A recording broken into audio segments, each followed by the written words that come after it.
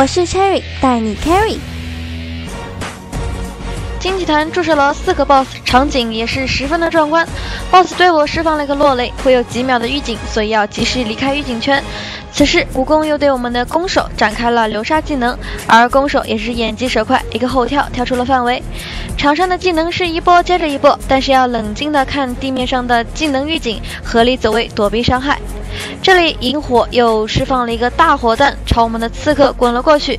然而刺客早就看穿了一切，马上隐身躲避掉了伤害。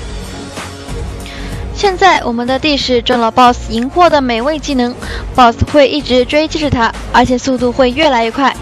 一旦追击上，将会给他带来毁灭性的伤害。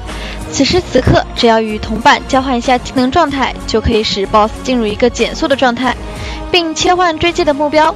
我们看到刺客上前走到地势的红圈内，地势头上的苹果就转移了目标。合理的分配交接时间是应对这个技能的关键点。经过一番苦战，大虫子 BOSS 的血量已经见底。现在我们可以登载上 BOSS，控制它去碾碎战场上的虫卵。如果在一定时间内虫卵没有被破坏，BOSS 醒来会进入狂暴的状态。这里需要大家配合默契，合理控制平衡和加速，否则就会像我们这里一样被全体晕眩，浪费宝贵时间。土鸡团的开场，我们对抗的是一个蛇形 BOSS。此时我们需要大家互相合作，击破头顶的爆炸水晶。这里必须要注意的是，躲避红色预警圈，不要紧凑走位，不然很容易造成团灭。在输出治疗时，地面会出现斑斓的预警信号，要毫不犹豫地躲避 BOSS 的技能预警圈，几秒后将在预警区造成大范围的锥形伤害。BOSS 在这里召唤了地兽，封锁了整个边界，并向前面移动。如果被地兽碰到的话，将会受到大量的伤害，会造成团灭。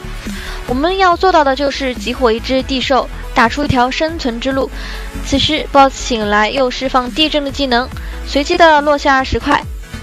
地面开阔的时候，我们也可以通过推动右上角的石球来打断 BOSS 的施法。现在由于地兽的缘故，我们无法达到石球的地点。所以我们依旧输出，因此作罢。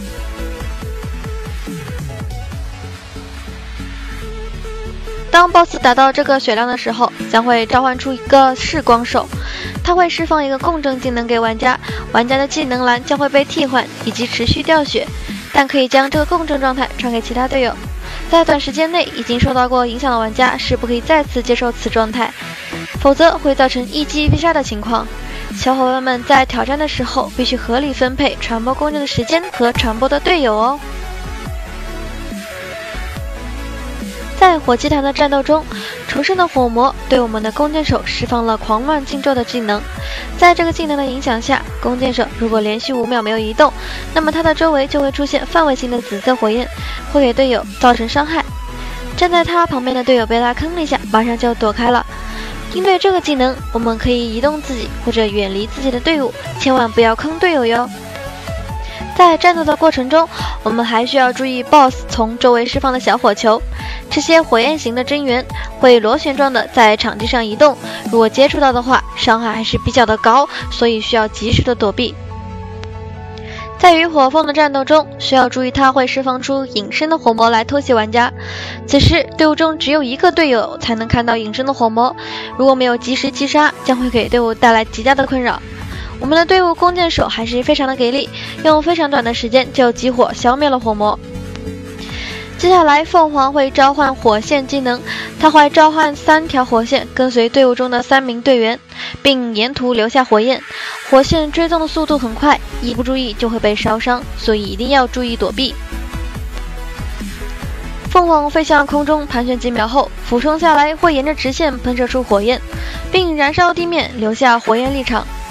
同时还会召唤小火灵攻击队伍，小火灵走入火焰内，还会进化成紫色的大火灵。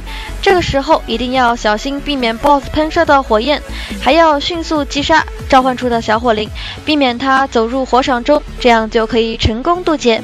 你们学会了吗？五天制六二五挑战内测，限量注册，等你来战！